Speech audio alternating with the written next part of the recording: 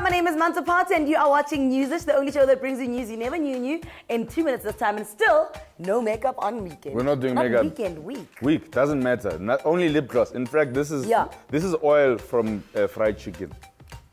No, we don't have fried chicken uh, this early in the day. Anyway, moving right along, SABC has come out and said ICASA is talking rubbish by uh, ruling against them with the censorship thing. Apparently, um, ICASA came out and said that the SABC needs to start showing the violent protests again because people want to see what's happening. But they say, nah. They're not having it Yeah. because they're scared. The people see protest, then they do more protest. Mm. Then it's crazy. It's like the toiletza. One person sees the toiletza, then other people see the toiletza. Then we're all doing the I, I don't think the that is contagious.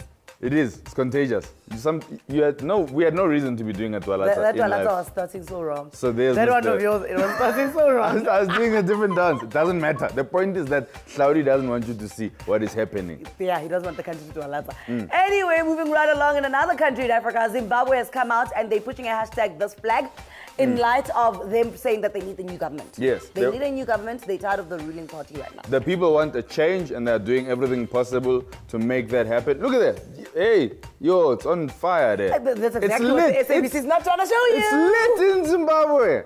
Sorry, I feel like I used that wrong. Sorry.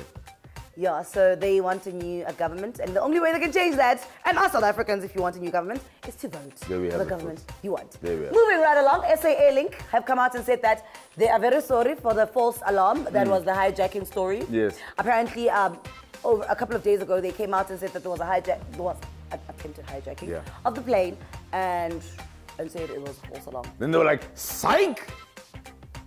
Shame on you. Yeah. Mantsoe Pout, Mojak Lehoko, 5 p.m. MTV Base. Boom.